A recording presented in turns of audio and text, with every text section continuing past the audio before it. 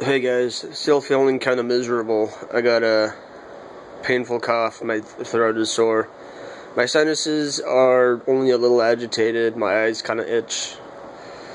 But it's all somewhat milder than it was yesterday. Uh, so certainly easier to breathe right now, as far as my cough.